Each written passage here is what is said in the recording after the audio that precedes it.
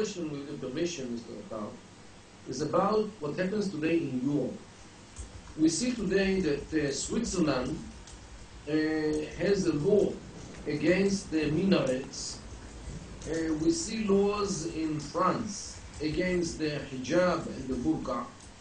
Also, we see this in the Netherlands uh, and also in some parts of Germany. Uh, there are laws against uh, things which are sacred for Islam. Uh, wh- wh- what do you say about this?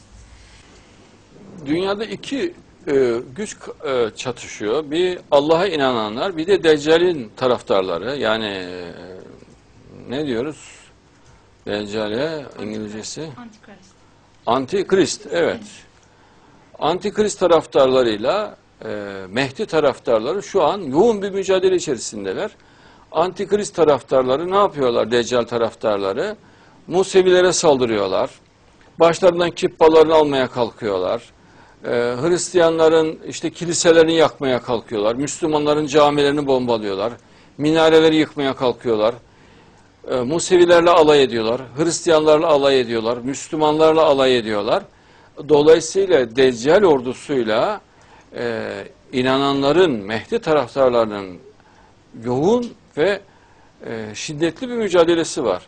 Fakat Mehdi bu mücadeleden barışla, sevgiyle, kardeşlikle, ilimle, bilimle, demokrasiyle, sanatla galip gelecektir. Bunu hep birlikte göreceğiz ama el birliği yapacağız. Hristiyan dindarlar, Musevi dindarlar, Müslüman dindarlar işbirliği içinde olacaklar.